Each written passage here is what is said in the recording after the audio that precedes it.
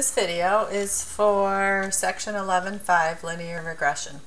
So in this line we're going to find out how to put what we call a least square regression line through our scatter plot. And um, we're going to get the slope and the y-intercept for that line. So then, oops, sorry about that. We can use it to make predictions. So um, line of best fit or least square regression line. It's abbreviated LSRL. So best fit means this is kind of how the line is calculated. So if we have all these scatter plot dots, it looks, um, it puts a line through the scatter plots to try to minimize this distance. So the best fit means the sum of the squares, these squares, or the vertical distance from each point to this line is as small as it can be. So it's putting a line through all the points so it's as close as possible to each point. So this is what you get, an equation of a line. This is the same one we had in Algebra 1, y equals mx plus b. So our a here is the same as our m, so that's our slope. And just like in Algebra 1, the b is our y-intercept. So this is where our line crosses the y-axis, right? That's B. Always x is 0 and you have a y value. That's your y-intercept. So A is the slope and that tells us how much y is predicted to change for every increase of one unit in x. That's important. So whenever we're describing slope, we say for every one increase in x, what happens to y? And then b is the y-intercept, and that tells us what is the y, what is the output when x is 0. So we'll answer some questions in context using the slope and the y-intercept. So we're going to um, go through in this video how to find this least square regression line in the calculator. Um, I have in my calculator right now the data for the candy bar problem, which we've looked at, woo, which we've looked at many times. So if you want to follow along on your calculator and check your numbers, what you're going to want to do is go to your stat, which I'm already there, and 1. And in your L1, L2, you're going to want to put that candy bar data, because that's what I have in there right now. So to find your slope and y-intercept, or your least square regression line, the steps are in your notes. So once you have your data in there, so you could pause the video and put that data in your calculator. But we're going to go to stat again. So the stat button is what I just pressed. And then we're going to go over to calc. So you're going to use your arrow and over to calc. And if you notice, menu item 4, linear regression, and it shows ax plus b. So this is the same place we went to get our r value, our correlation coefficient. So we're going to look at that again. And then we want it to use list 1, list 2, so that all looks good. So I'm just going to enter, enter, enter, enter, enter. And then I'm going to get this data. Now remember this is the same place we found the R value, but what we didn't talk about before was this A equals and B equals. So what this A is, is for AX plus B, just like it explains here, my A is 2.82900. So this is your slope, and your B is your y-intercept. So this, in your notes, it kind of explains what you'll see here. So A is the slope, B is the y-intercept, R is the correlation coefficient. So if you flip over to this example 1, there we go, and we can now write an equation for a line, which I've sketched here. I'll show you how we do this on the calculator in a minute for a line that would go through our scatter plot. So this is our same sketch of our scatter plot for this problem that we've looked at a few times. And then an equation of a best fit line through there we're going to get from these values. So the first A in your note says find the equation of the least square regression line round to three decimal places. So these are the values I pulled off the calculator. So the most important ones here are the A and B. So A is 2.829 rounded to three decimals. B is 300.040 rounded to three decimals. And this makes sense. If you look at my output data here, it's in the 3 to well, all the way up to 8, almost 800 range. So this y-intercept of 300 makes sense.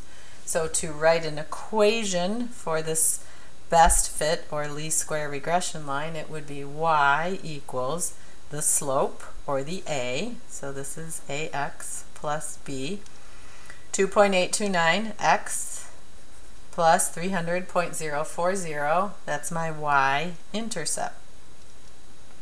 Okay, so then it's part B says what is the slope of your line? So the slope is 2.829. And then it says interpret the slope in context. So remember when we're talking about slope, we want to always talk about a single increase in our input or our x. And in this example, our input is sugar and our output or our y's is calories. So what we said was this means that for each additional gram of sugar, so remember for an increase of 1 in x, so each additional gram of sugar, a candy bar has, we can predict that the number of calories, right, that's your Y, in the candy bar will increase by 2.829. So when X increases by 1 in our example, when sugar increases by 1 gram, Y will increase by 2.829 or in our example calories. Hmm, I think I spelled that wrong but you get the idea. Will also increase by 2.829 okay? Now let's look at some instructions here for having your calculator graph this line um, so here they are, but I'm going to show you this on the calculator. But right now you might want to put this little arrow after this L1, L2, put an arrow and write the word store reg EQ. This is store required equation. I think these directions will be a little more clear if you add that line there. Okay, so let's look at this. So here I am at the screen where I got my slope and my y-intercept and my r value. And so what this says is we want to continue through this. So let's just review how we got to this point. So this was stats. Oop, my calculator just turned off. Stat. And we did calc. Then we did 4 for least square regression line. And then we entered, entered, entered right? And we got all of that information. Okay, so now let's do that again, but we're going to change this time. So we're still going to go Stat button, and we're going to go over to Calc, and we're going to choose 4, Linear Regression, AX plus B, and we're going to hit Enter. So now we're telling it to use list 1, use list 2, and then frequency list we're going to kind of skip over, but see where it says store required equation. I want to tell it to use that y equals ax plus b, use those values when I ask it to graph, and I'm asking it to graph that line. So here, I want to get my cursor down to that, and then I want to go to these steps in your notes where it says vars, which stands for variables, yvars, and function. So right here, I want to hit this vars button, which is right here. So at that store required equation, I want to hit vars. And then I want to go over to yvars. So I'm telling the calculator, please use this y equals ax plus b equation that you just found for me. So when it says function, I'm saying, yep, I would like you to use a particular function, so hit enter. And then I'm saying, yeah, for y1, I would like you to put my least square regression line in there. So I want to hit enter again.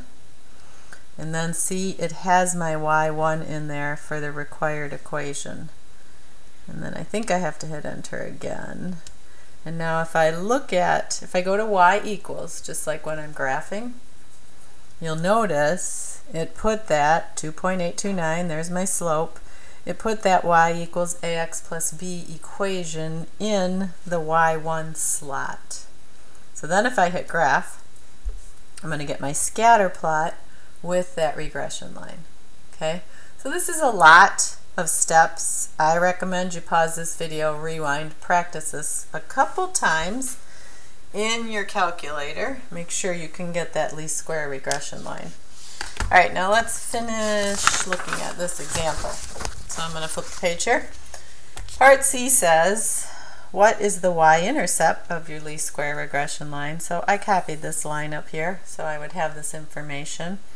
Remember, this is my y-intercept. That's my b y-intercept is where my line crosses or intersects the y-axis. So x is always 0 at that point. So this is my y-intercept, 300.040. This means that if a candy bar has 0 grams of sugar, so picture your graph, here's my least square regression line, this is my y-intercept, so at this point x is 0 because I went over 0 and I went up 300.040. So this means that if a candy bar has 0 grams of sugar, x is 0 because that's my x-axis, we can predict the number of calories the candy bar will be will have is 300. So it already has some calories even if the grams of sugar are 0 so where would these extra calories be coming from? Well, probably from the fat. Huh? Candy bars have other stuff in them besides sugar that contribute to the calories. So now they're going to ask you to use this equation of the line that we just calculated. So I'm going to rewrite it here to answer some question.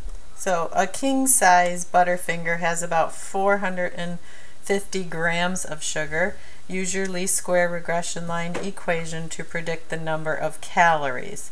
So it's asking me to find y, calories, when x equals 50 grams. Okay, so I'm just going to plug into my equation. Solving for y, my slope is 2.829. My input, my x, is 50 plus 300.040. So let's just put this in the calculator, see what we get. So I'm going to do 2.829 times 50 plus 300.040 and I get 441.490. So y equals 441.49. Story problem requires a story answer. I have to have some units on here. So this would actually be Y is calories. So this would be my answer. 50 grams of sugar for input yields 441.49 calories of output. Okay? So now here they say, this is using my line to predict this. Now here they tell me, well, a king-size Butterfinger actually has this many calories, 514. Was the prediction you made too high or too low? Well, it actually has 514. We predicted 441. So our prediction was too low. Okay, so let's add the word prediction here. Prediction is too low by how much? By 514. minus 441.49 by 72.51 calories by 72.51 calories. Okay, so that was the answer to that. Why do you think this happened? Well, our least square regression line is based on the data that we had. It's not perfect. It doesn't contain the information about all candy bars. It's just a prediction. So that would be why this would happen. So there's lots of ways to say this. Um, our, oops, our equation is based on a small sample size.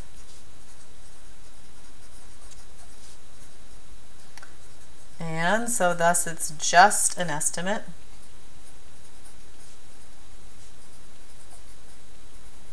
And you know, you could go on and on. Perhaps it's because the candies that we used have uh, different calories and sugar contents, but basically it's that our equation is based on just a sample of some candy bars and not all the candy bars. So now it says use your least square regression equation. Remember, that's this every single time. To predict the number of calories in a candy bar that has 65 grams of sugar. So remember this is X. Grams of sugar is always X or our input. So we're substituting in place of X in our equation 65 and we're solving for Y. Well, let's put that in the calculator. So I have 2.829, that's our slope, times 65 calories, or grams of sugar, sorry, plus 300.040, and I get 483.925. So 483, oops, 0.925 calories. Make sure you have units on all of your answers and pretty much all the problems in this whole unit. So if a candy bar has 65 grams of sugar, if x is 65, then my equation predicts that y, which is calories, will be 483.95. So I'm going to stop this video here and we'll look at example 2 in another video.